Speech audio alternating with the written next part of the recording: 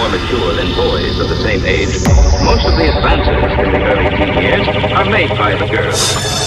Joan seems to be coming quietly through these difficult years, but the stress and strain are there and result in an almost complete withdrawal.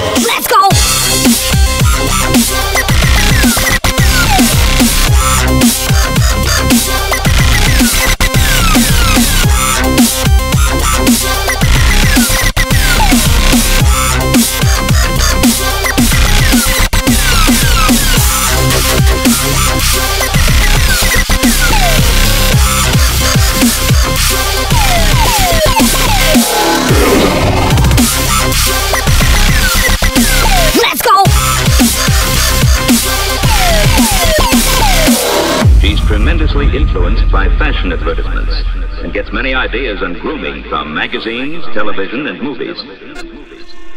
She takes her schoolwork seriously, perhaps too seriously. She has high standards for herself, and if she falls below them, her insecurity and worry